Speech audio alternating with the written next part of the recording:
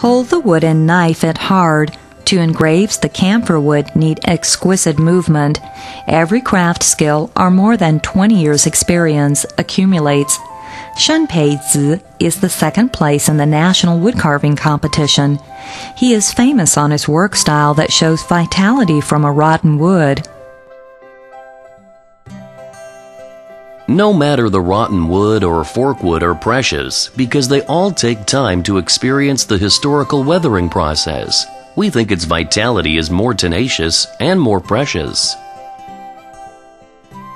A burren rubs the weathering parts of the wood, especially the leaves carved is from self-made graver. The rotten wood has been renewed their life by Shupeizi's hands. Here, the rotten wood's paradise. In Sangyi, you can see a lot of creative work everywhere, but not these years. Wood carving business gets recession in recent years. Tourists fewer than before. The street shows the depression and good works cannot get favor from people. For promote the wood carving craft culture, SMEA implement on-selling plan to develop benefit for it. They connect 10 old shops on the street and ally them online to seek for a new group who are interested by this and deliver the maximum economic efficiency. The buyers who appreciate the work are about the higher customers than normal. They should also travel in the e-world.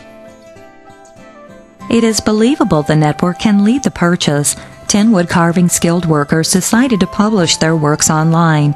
The chair of artistic wooden and modern art carving all can be checked out on the net.